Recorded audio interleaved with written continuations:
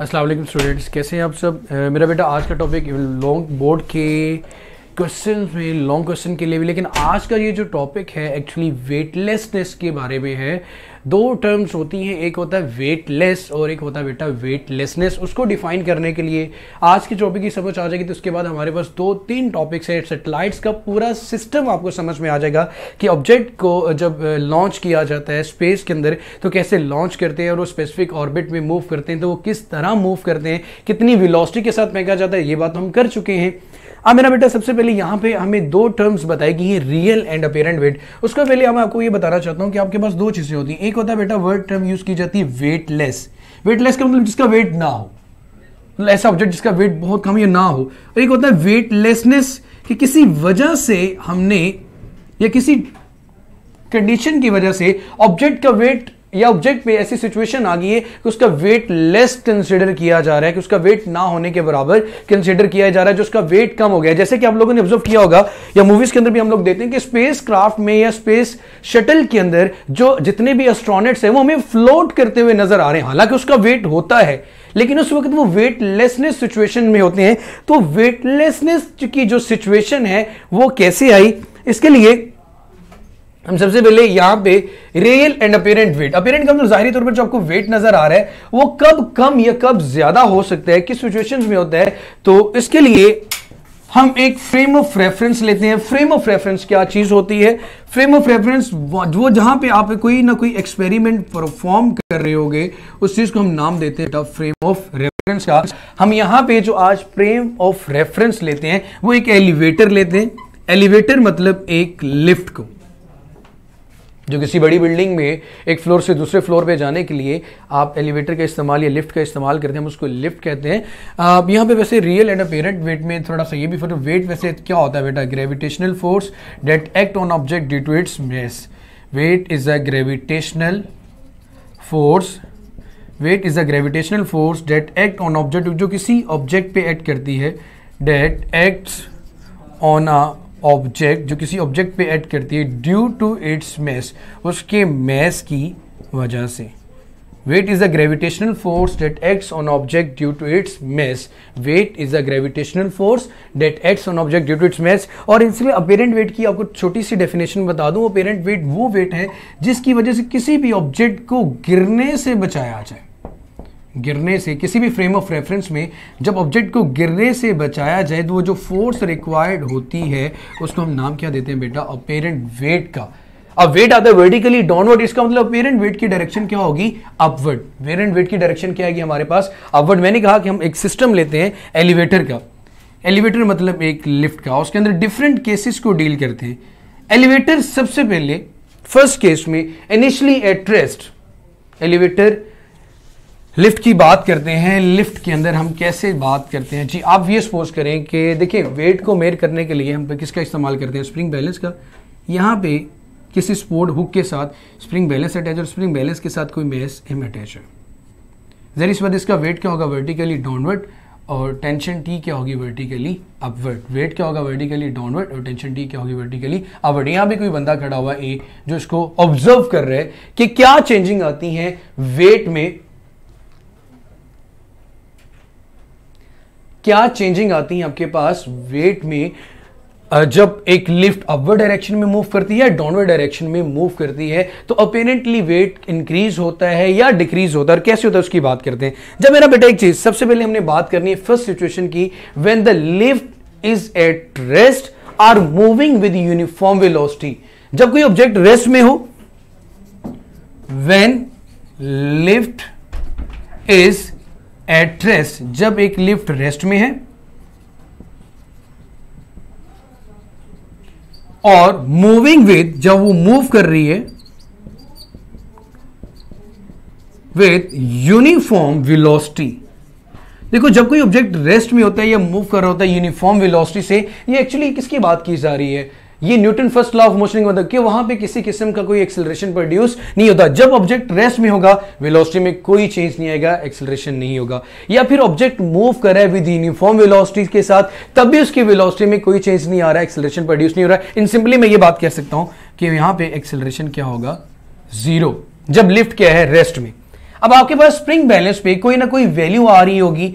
वो ये बात करते हैं, जो टोटल फोर्स है नेट फोर्स।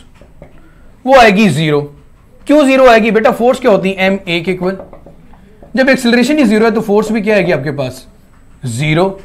अब बेटे, नेट फोर्स यहाँ पे एक्चुअली हम दो चीज़ों को ऐड कर रहे हैं। किसको बेटा? टेंशन और वेट को। लेकिन टेंशन और वेट दोनों यहाँ पे किसके को ला रहे हैं? आपस में इक्वल आ रहे हैं। भाई इक्वल आ रहे हैं तो इसी वजह से इसकी वेलोसिटी में कोई चेंज नहीं आ रहा और एक्सेलरेशन क्या हो रहा है? ज़ीरो तो मैं ये भी लिख सकता हूँ कि T minus W is equal to zero के नेट फोर्स क्या है ज़ीरो या टी किसके इक्वल आ गया बेटा? डब्ल्यू के। रियल और ये जो ऊपर लगने वाली फोर्स जो इसको गिरने से बचा रही है, जिसे हम टेंशन टी भी कह रहे हैं, हम यहाँ पे इसको अपेरेंट वेट का नाम देंगे। यहाँ पे इसको क्या नाम देंगे बेटा? अपेरेंट वेट का। लेकिन अपेरेंट वेट यहाँ पे किसके इक्वल आ रहा है? रियल वेट के इक्वल जब आपका ऑब्जेक्ट किसमें है? रेस्ट में अपेरेंट वेट में किसी किस्म का कोई इंक्रीज या डिक्रीज नहीं हो रहा। अपेरेंट वेट में यहाँ पे किसी किस्म का कोई इंक्रीज या डिक्रीज नहीं हो रहा। अपेरेंट वेट में यहाँ पे किसी किस्म का कोई इंक्रीज या डिक्रीज नहीं हो रहा, जब लिफ्ट रेस्ट में है।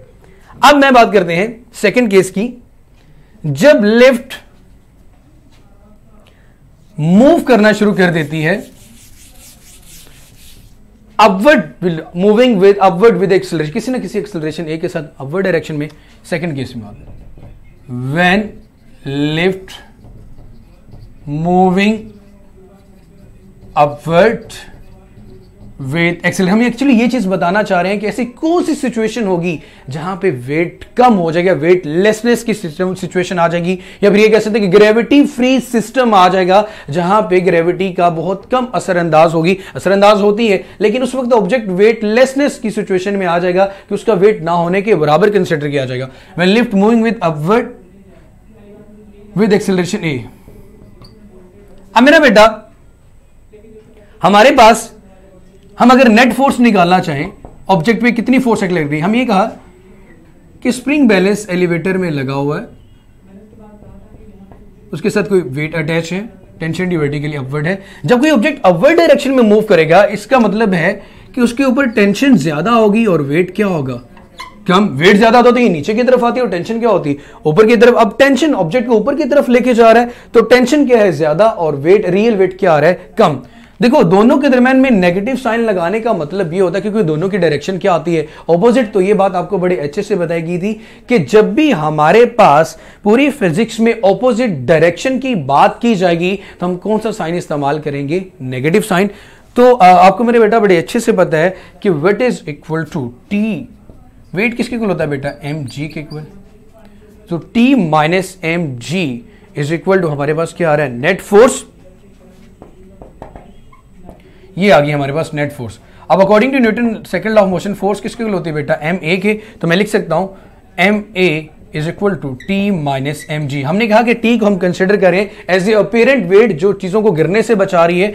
तो M A plus M G is equal to T ये रिलेशनशिप आ गया मेरे पास। जब ऑब्जेक्ट अपवर्ड डायरेक्शन में मूव करे, विद एक्सेलरेशन ए अब इस रिलेशनशिप की, इस इक्वेशन की फिजिक्स क्या है? वो ये है कि बाय रियल वेट में एम ए का फैक्टर ऐड हो रहा है। इसका मतलब आपका अपेरेंट वेट क्या हो रहा है? इंक्रीज हो रहा है। अपेरेंट वेट क्या हो रहा है बेटा? इंक्रीज हो रहा है। अब रियल वेट से रियल वेट तो सिर्फ़ एम था। अब उसमें एक और चीज़ ऐड होती है एम में तो तब जाके वो क्या बनता है? अपेरेंट वेट इट मींस कि यहाँ पे आपका अपेरेंट वेट इंक्रीज हो रहा है। Apparent weight increasing apparent weight increasing with with a factor कितना फैक्टर उसमें इंक्रीज आ रहा है? M A apparent weight increasing with the factor M A यहाँ पे अपेरेंट वेट में क्या आ गया? Increase when lift moving with acceleration A when lift moving with acceleration A apparent weight में क्या आ गया बेटे? इंक्रीज अब हम बात करते हैं कि जब आपके पास ये लिफ्ट डाउनवर्ड डायरेक्शन में मूव करेगी तो उस वक्त क्या होगा? मैं फ़र्स्ट वाले को रेस कर देता हूँ। मेरा बेटा, यहाँ से हमें तीनों चारों सिचुएशंस को देखना है। फोर्थ सिचुएशन की भी बात करेंगे जो हमारे लिए इंपॉर्टेंट होगी। केस थ्री पहले लिफ्ट रेस्ट में थी, तब देखा कि टेंशन और वेट दोनों इक्वल है, वो बैलेंस्ड है। दोनों फोर्सेस एक जैसे एक्सलेशन किसी किस्म का कोई प्रोड्यूस नहीं हो रहा।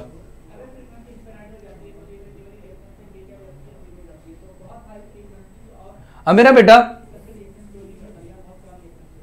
अब हमें बात करनी है थर्ड केस की। थर्ड केस में हमारे पास क्या चीज़ आ रही है कि when the lift moving downward with acceleration A बेटे न्यूमेरिकल एग्ज़ाम्पल में एक्चुअली हम यहाँ पे वेटलेसनेस को अंडरस्टैंड करना चाह रहे हैं कि वेटलेसनेस की सिचुएशन कब आती है, जो हमारे पास इस्तेमाल होगी सेटेलाइट के अंदर, कि सेटेलाइट जब स्पेस के अंदर ऑर्बिट के अंदर लॉन्च किए जाते हैं तो वेटलेसनेस की सिचुएशन में होते हैं, या उनके अंदर जितने भी ऑब्जेक्ट्स होते हैं, वो वेटलेसनेस की सिचुएशन में होते हैं। वो वेटलेसनेस कैसे आती है और वेटलेसनेस का मतलब क्या होता है, इस चीज़ को अंडरस्टैंड करने के लिए हम रियल एंड अपेरेंट वेट देख रहे हैं। और रियल एंड अपेरेंट वेट को समराइज करने के लिए, आसानी से समझने के लिए हमने एक छोटा सा सिस्टम ले लिया एलिवेटर का लिफ्ट का जो ऊपर या नीचे की तरफ़ जा रहा है। अब मेरा बेटा केस थ्री की बात करते हैं। When the lift is moving down और इसके अलावा इसके बाद जो एग्जांपल्स होंगी, मेरा बेटा एग्जांपल मीन इसकी जो प्रैक्टिकल एप्लीकेशन है, वो हमारा कल का टॉपिक होगा। उसमें डिटेल में हर जगह पे इसी का इस्तेमाल होगा। तो पहले इसको तरह अच्छे से कर लेते हैं। When the lift is moving downward with acceleration A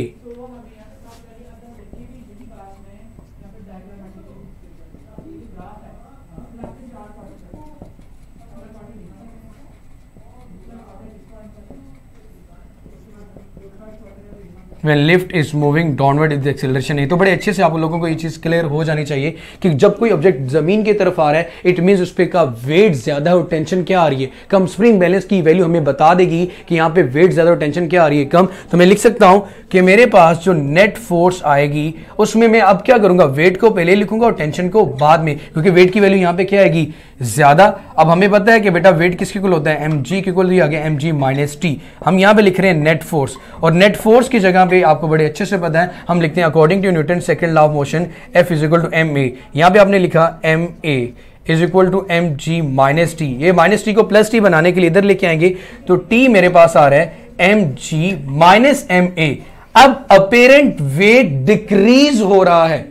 अब क्या हो रहा है? अपेरेंट वेट डिक्रीज हो रहा है। पहले अपेरेंट वेट में इंक्रीज आ रहा था। अब अपेरेंट वेट क्या कर रहा है बेटा? डिक्रीज कर apparent weight decrease first case में दोनों एक दूसरे के इक्वल थे। रियल एंड अपेरेंट वेट बिल्कुल इक्वल थे। There is no change in velocity there is no acceleration second case में ऑब्जेक्ट ने अपवर्ड मूव करना शुरू कर दिया। तो अपेरेंट वेट इंक्रीज हुआ। जब ऑब्जेक्ट ने डाउनवर्ड मूव करना शुरू कर दिया विद एक्सेलरेशन ए तो अपेरेंट वेट डिक्रीज हो रहा है by the factor M A अब मेरा बेटा लास्ट केस है कि एक्सीडेंटली अगर आपके पास वो रोप्स वो रस्सियाँ, जिस या वो चेन टूट जाए, जिससे लिफ्ट मूव कर रही है तो आपके पास उस वक्त लिफ्ट का या एलिवेटर का जो एक्सिलरेशन ए होगा, वो किसके को लाएगा बेटा? ग्रेविटेशनल एक्सिलरेशन जी के। ऑब्जेक्ट फ्रीली फॉल कर रहा है। उसमें कोई फोर्स नहीं लग रही। अब टेंशन टी उस पर एक्ट नहीं कर रही। उसको गिरने से नहीं बचा रही। तो उस वक्त क्या होगा? जब उसका अपेरेंट वेट क्या हो जाएगा बेटा आपके पास? ज़ीरो मैंने खुद कहा था कि अपेरेंट वेट उस चीज़ का नाम होगा जो रियल वेट के बिल्कुल ऑपोजिट होगी और इसको गिरने से बचाएगी। हमने कहा कहा अगर एक्सीडेंटली हादसाती तौर पर वो रोप्स वो जो को गिरने से बचा रही है, नीचे जाने से बचा रही है, वो टूट जाती हैं तो उस वक्त अपेरेंट वेट की वैल्यू क्या होनी चाहिए? ज़ीरो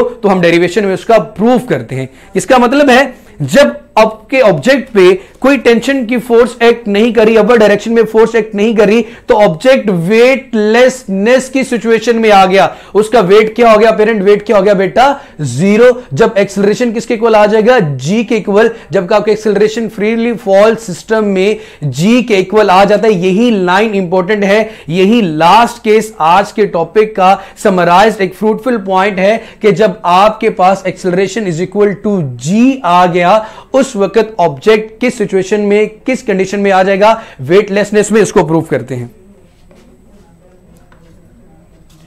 अब मेरा बेटा, मैं इसको रेस कर देता हूँ।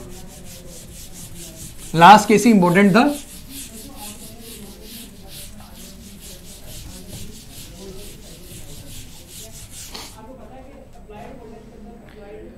When the chain supporting the lift breaks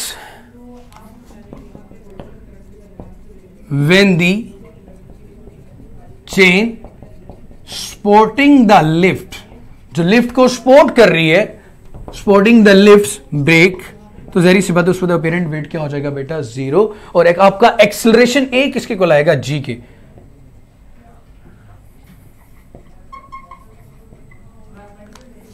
आपका एक्सेलरेशन ए किसके को ला गया बेटा? जी के को।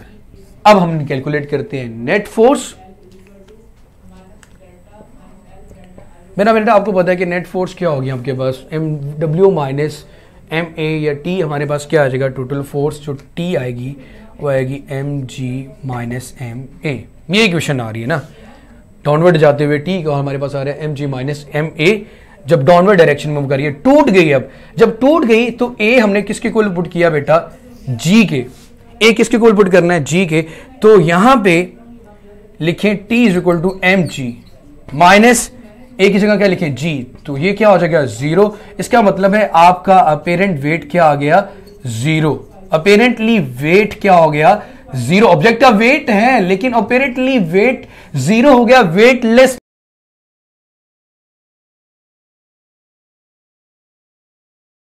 constant acceleration due to gravity.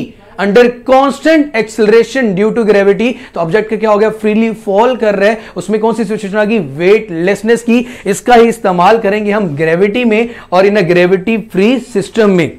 Weightlessness in a satellite in a gravity free system क्या होती है? यही एक फैक्टर उसमें इन्वॉल्व होगा। अब आपने बात करते हैं मेरा बेटा, इससे नेक्स्ट यहाँ तक कोई क्वेश्चन है तो आप लोग पूछ सकते हैं। आपके कमेंट्स देख लेता हूँ।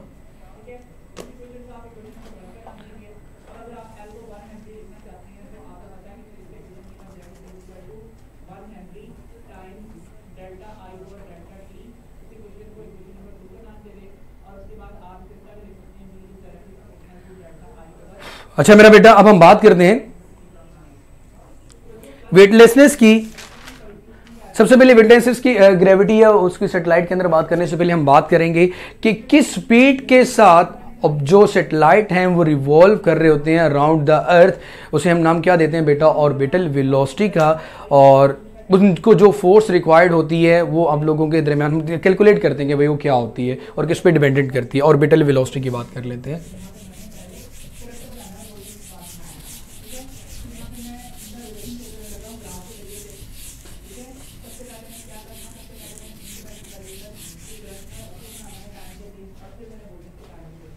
हमने लोगों ने पढ़ी?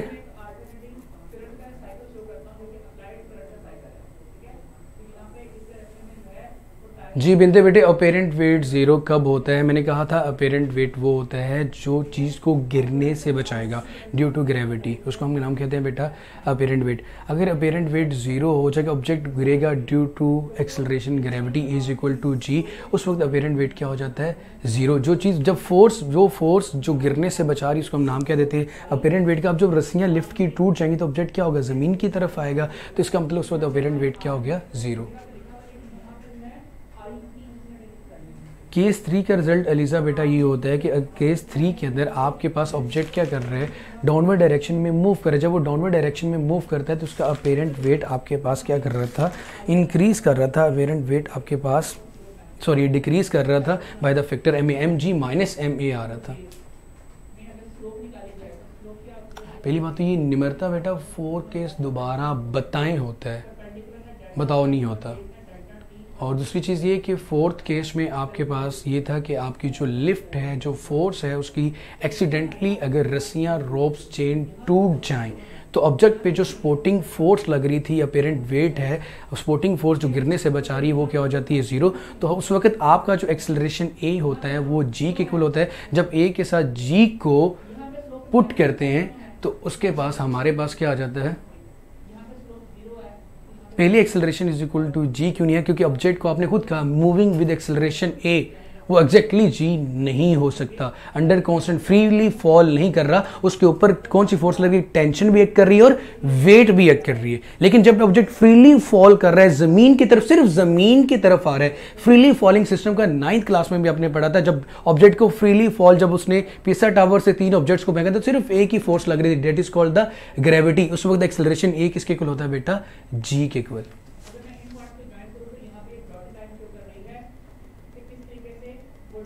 जी ये बत, इससे रेलिवेंट कोई क्वेश्चन है तो और पूछे। और इसी तरह आप ये बात बड़े अच्छे से पता होना चाहिए कि जब भी कोई ऑब्जेक्ट आप स्पेस में मूव करेगा या सेटेलाइट के अंदर मूव कर रहा है इट मीन्स कि वो क्या है? वेटलेसनेस की सिचुएशन में है with in this feeling for और इसलिए इसको हम ग्रेविटी फ्री सिस्टम इसलिए कह देते हैं कि आप ऑब्जेक्ट पे जो फोर्स लग रही है उसकी वजह से ऑब्जेक्ट ज़मीन की तरफ़ नहीं आ रहा वो वेटलेसनेस की सिचुएशन में वो फ्लोट करता रहता है। जी बेटा सेकंड केस में आपके पास ये था कि जब आपके पास ऑब्जेक्ट मूव कर रहा था moving upward with acceleration a उस पर टेंशन टी ज़्यादा थी और वेट कम था। जब हमने नेट फोर्स निकाली तो हमें ये चीज़ बड़ी अच्छे से पता चल गई कि उस केस में अवेरेंट वेट इंक्रीज कर रहा था। ये सेकंड केस था। अब मैं आप नेक्स्ट क्वेश्चन करें। तो वो फ़र्स्ट केस का होगा। प्रीटी ओवियस है।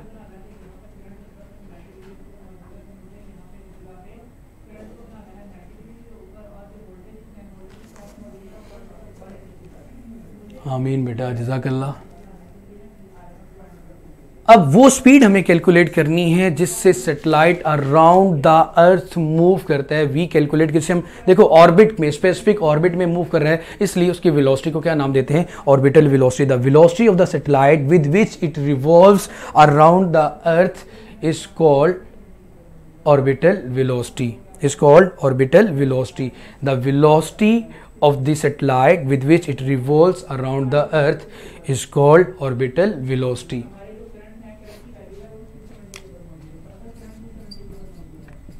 अच्छा एक चीज़ मैं आपको बार बार रिमाइंड करवा दूँ कि सैटरडे वाले दिन, हफ़्ते वाले दिन, कल हम लोगों का ये चैप्टर अप्रॉक्सीमेटली कंप्लीट हो जाएगा इन एक्सेप्ट न्यूमेरिकल्स और शॉर्ट क्वेश्चन तो मेरा बेटे, आप लोगों का सैटरडे वाले दिन, ये हफ़्ते वाले दिन आपका चैप्टर नंबर फोर और चैप्टर नंबर फाइव में से एक ग्रैंड टेस्ट होगा। दोनों चैप्टर में से दस दस नंबर के एम आएँगे। 20 नंबर आपने लेने होंगे लास्ट टाइम की तरह इनशाला इनशाला इनशाला और इसी के तरह साथ साथ मेरा बेटा ये कि आपके जो एम सॉरी एम होंगे वो 10 नंबर के चैप्टर फोर और चैप्टर फाइव से जो भी इस नंबर लेगा लास्ट टाइम की तरह उसको भी गिफ्ट्स मिलेंगे। तो आप सबने स्पेशली uh, ये निमरता जो वट जो भी नाम हमारे पास यहाँ पे आ रहा है तो मेरे बेटे मैंने आपको सारे केसेस दोबारा से बता दिए हैं।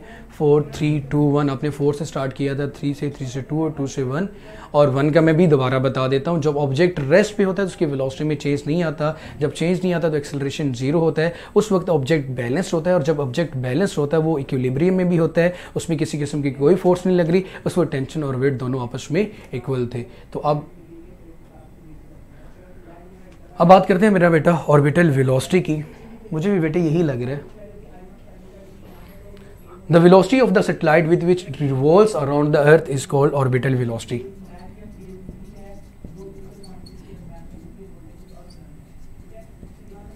the velocity of satellite with which जिसके साथ with which it revolves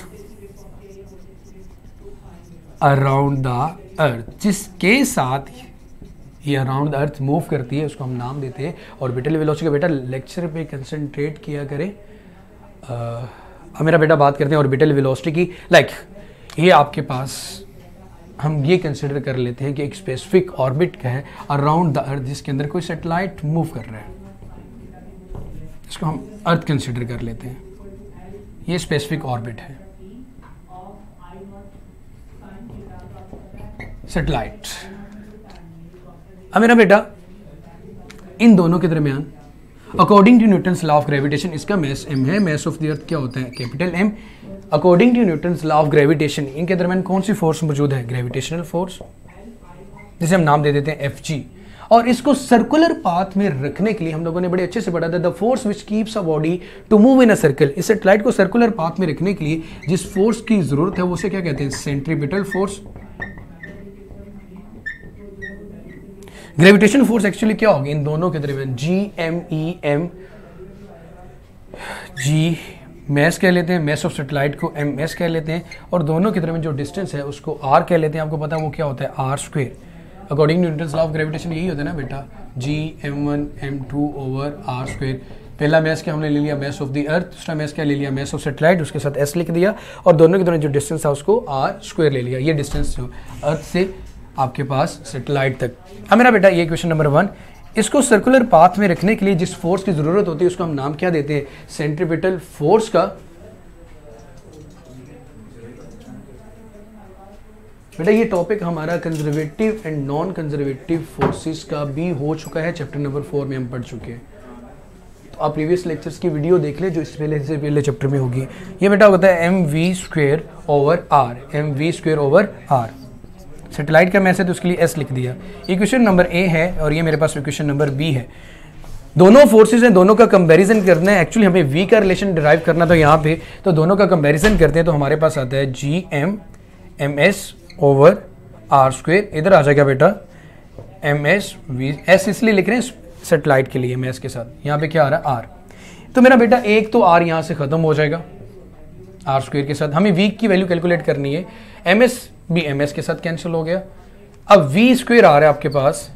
G M over are के equal G M over R के इक्वल आपके पास आ गया। V square we want to calculate the V तो वी स्क्वेयर को खत्म करने के लिए एफ़ जी का मतलब होता है ग्रेविटेशनल फोर्स दो मैसेज के दरमियान कौन सी फोर्स होती है? Gravitational force according to the Newton law of gravitation अब मेरा बेटा अब हमारे पास, जी, ये टॉपिक आपको याद हो, ये हम पहले भी कर चुके हैं V square is equal to G M over R है, दोनों साइडों पे स्क्वायर रूट लेना है taking square root both sides V is equal to under root G M over R ये रिलेशनशिप हमें क्या बता रहा है? ये तीनों कॉन्स्टेंट्स आ रहे हैं by the way gravitational constant mass of the earth and the radius हाँ ये आर की वैल्यू कम या ज़्यादा हो सकती है सेटेलाइट के थोड़ा ऊपर या नीचे होने से। तो इस तरह हम speed of the satellite calculate कर सकते हैं कि हमें किसके पता हो? अगर सिर्फ़ और सिर्फ़ आर की वैल्यू पता हो mass of the satellite matter नहीं करता, क्योंकि यहाँ पे आपके पास रिलेशनशिप में वो नहीं आ रहा। कैंसिल आउट हो गया। इसका मतलब है speed of the satellite does not depends upon the mass of the satellite it only depends upon the radius it only depends upon the radius.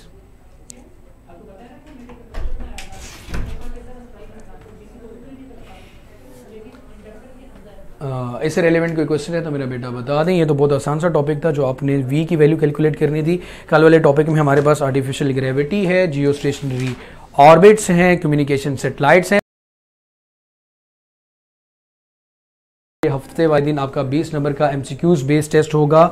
20 नंबर पूरे के पूरे लेने हैं। आजकल मुझे अब्दुल्ला भी खैर नज़र नहीं आ रहे, ना मुकदस तो लास्ट टाइम जो लोगों ने, कश्यप भी इन्होंने बेटा पूरे नंबर लिए थे, इस दफ़ा भी पूरे नंबर लेने हैं।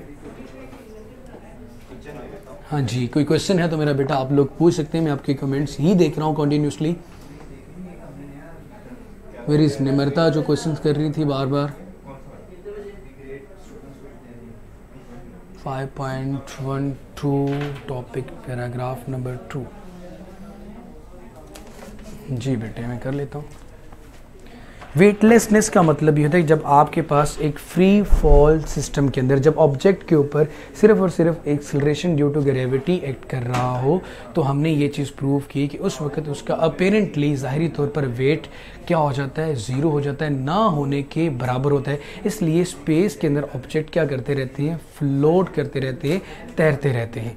अब यहाँ पे एक और चीज़ ये भी बताई गई थी कि जब आपके पास किसी भी सेटेलाइट को अराउंड द अर्थ लॉन्च किया जाता है तो आप उसको क्रिटिकल वेलोसिटी प्रोवाइड करते हो। जब वेलोसिटी प्रोवाइड करते हो तो वो आता, आना तो ज़मीन की तरफ़ जा रहा होता है। जब ज़मीन की तरफ़ आना चाहते तो एक पैराबोलिक पाथ बनाता है। हम उसकी वेलोसिटी को और ज़्यादा इंक्रीज़ कर देते हैं। वो एक ज़्यादा बड़ा पाथ बनाता है। हम उसकी वेलोसिटी को और ज़्यादा इंक्रीज़ कर देते हैं। वो और ज़्यादा बड़ा पाथ बनाता है। जब एट लास्ट वो ज़मीन की तरह का एक पाथ बना लेते हैं तो उस वक्त हम कहते हैं कि अर्थ का कर्वेचर और जो ऑर्बिट है सेटेलाइट उन दोनों का कर्वेचर दोनों का जो दायरा है, दोनों का सर्कुलर पाथ वो बिल्कुल क्या है सेम तो ना ये फिर ज़मीन की तरफ़ नहीं आ सकेगा, अपने ही पाथ के अंदर मूव करता रहता है तो हम कहते हैं ये सर्कुलर पाथ हालाँकि उस पर ग्रेविटेशनल फोर्स एक्ट कर रही है. Due but due to weightlessness अब आपके पास कर्वेचर ऑफ़ द अर्थ और curvature of the orbiter satellite दोनों बिल्कुल क्या हो जाते हैं सेम जिसकी वजह से ज़मीन की तरफ़ नहीं आता.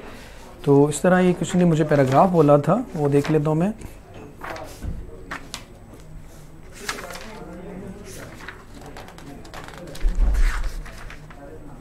जी बेटा, यही चीज़ मैंने अभी आपको बताई थी जो आपके अर्ज़ के कर्वेचर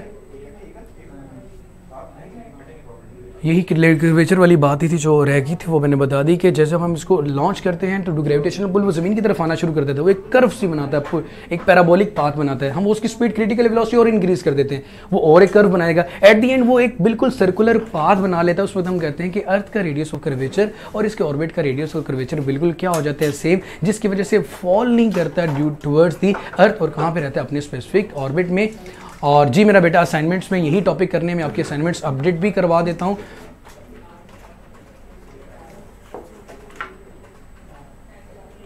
वो बेटा क्रिटिकल वेलोसिटी थी, वो कितनी मिनिमम वेलोसिटी रिक्वायर्ड होगी ऑब्जेक्ट को स्पेस में लॉन्च करने के लिए। इसलिए हमने उसके साथ क्रिटिकल वेलोसिटी की बात की थी। ये है जब एक ऑब्जेक्ट ऑर्बिट ये लॉन्च करने के लिए आपको इनिशियल वेलोसिटी कितनी चाहिए? वो क्रिटिकल वेलोसिटी थी। अब जिस वेलोसिटी के साथ ऑब्जेक्ट सर्कुलर पाथ में या ऑर्बिट में रोटेट करता है, उसको कहते हैं ऑर्बिटल वेलोसिटी तो दोनों में डिफरेंस है। एक वो स्पीड जिसके साथ उसको लॉन्च किया गया इनिशियल वेलोसिटी और एक वो वेलोसिटी जिसके साथ ऑब्जेक्ट सर्कुलर पाथ पाथ में रोटेट कर रहे हैं उसको कहते हैं ऑर्बिटल वेलोसिटी। ये डिफरेंस है बेटा।